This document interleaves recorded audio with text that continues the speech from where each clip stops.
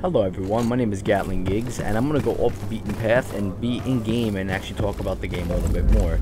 Um, this game is an incredible game as you already know, otherwise why would you be here? And um, the thing about this game is there's a lot of things you can do to make yourself more efficient and a better player. Thing one is take your time. That's tip number one. If you take your time, you make sure that everything comes to you, comes to you from a defensive position where you have tactical superiority and better stability to aim. Number two, make sure you bring enough ammo but not too much. Looting is one of the most important aspects of this video game. If you don't loot properly, you're going to have a hard time equating money for ammunition, repairs, all that stuff. And uh, it's very important. Another thing is try to loot smaller items such as grenades, med kits, and all that good stuff. The small little knickknacks really add up and you can carry more of them. Um, the more items you can carry is determined by your weight over here. And uh, as you can see, I have almost reached carrying capacity, but different armor attachments can ratify that, so you're a more efficient person and can carry more per trip, thus increasing the amount of money you need uh, your expenditure going out on the trip. Another rule is, is always survey an area first, another thing that kind of coincides with patience. Also, I would suggest toggling your crouch key in settings, sorry, in settings, toggling your crouch key. Go to options, go to game, go to crouch stand mode and check it. This is really helpful because you, it frees up your hand so you can lean and do stuff like that. And that brings us to our next point, leaning. Leaning is a very important aspect of this game. Unfortunately, you cannot toggle lean like in Rainbow Six, which would be a huge help so I can keep, you know, just tap it once and be able to do this. If there's a way to do that, please let me know. I am very, very interested in learning how to do that. So another thing too about this game is always keep an eye on where you're at and make sure you're at a place to escape an emission. Being in an mission is horrible and nobody, everyone's been there. And no one wants to be there. And the only way to fix that emission problem is to either have an antibiotic on you to neutralize it. And that brings us on to another portion.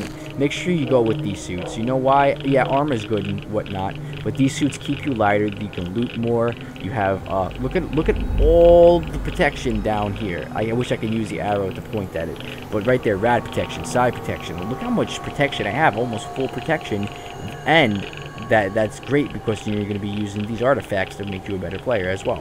Which brings us to our next point, artifacts. Make sure you use the right artifacts with each other. I personally go for artifacts to make me carry more, and then I use two jellyfishes, and then once I open these up, I'll have two more slots.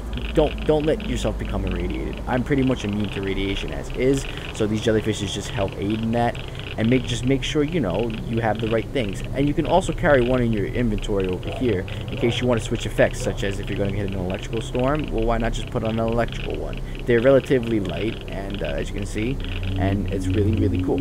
All right so moving on with the video. Another thing too is always keep an eye out and make sure your Veles detector is your best friend especially the advanced one you get. You get the advanced one from talking to owl and doing a side quest with owl and between the science bunkers uh, mechanic and he will help you uh, make this detector and once you do a request from the scientist it'll become available free.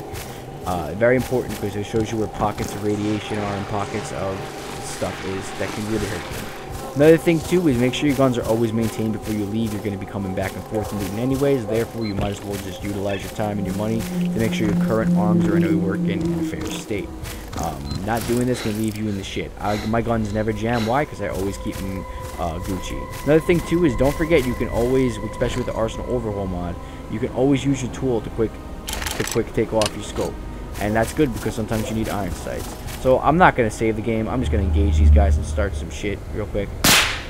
They're, oh, they're damaged anyway, so it doesn't matter. Oh, cheeky breaky. That cheeky breaky. See, now if I had this out, I would have been fine. This thing helps you navigate through the bullshit. But I'm gonna die. Thank you. Another thing now brings us to our next point. Hotkeys. That was a hot situation. Now I need even hotter keys. Hotkeys are important. You set up your hotkeys. You can drag any kind of item that is equitable. Even the scopes you can drag in your hotkey. I wish you could drag a pistol in your hotkey so you can take it out in a situation. Um, and that's pretty much it. There's more stuff to this game, such as looting, you know, with the looting and being able to do your quest efficiently. Get to know the map, get to know your maps, get to see where the stashes are. Make sure you try to get as many quests before you leave home base, because if you don't, there's no fast travel. You want to maximize your gaming efficiency. Um, and that's pretty much it, folks. I'm really appreciative you came back to my channel. I love doing these videos. I'm glad I have an audience that appreciates the work I'm doing. And um, I just want to help you all have a better time, because especially with the freaking misery mod, we all know how horrible this game can be to you. This is one of the most unforgiving and unrelenting games I've ever played. It does not pamper its players. It really, it really knows how to challenge its players and make the game enjoyable, such as adding dynamics as of right now. I need to eat in order to survive, otherwise my stamina is going to be inhibited. Well, for back in the day, that's pretty damn impressive. I have no food, therefore I'm going to suffer a, suffer a uh, stamina penalty and it just the way things work is awesome. So to end the video, I know I'm an idiot and I'm not going to save, so it's not a problem. Hold on.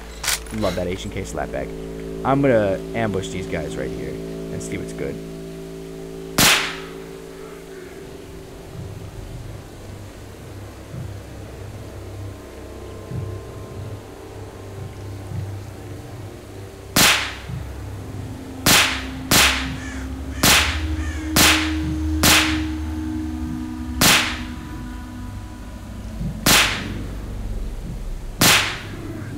Attention, attention. This is Hermann. The science laboratory is under attack. We won't be allowing stalkers in for a while.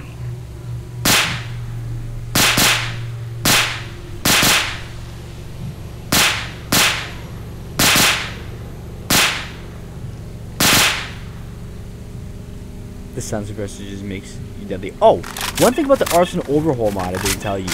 Yes, it does.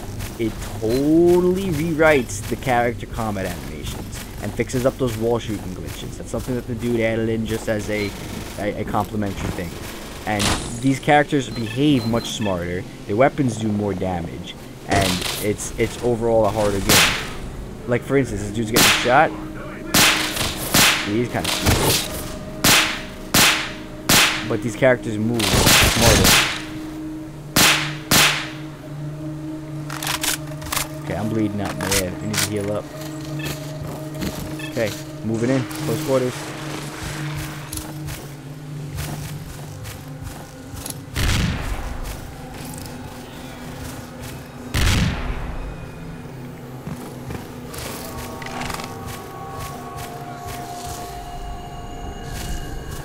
Where the hell is he? Oh, look at this. Gotta take the P90. Where'd it go? Yes. No. Let's see.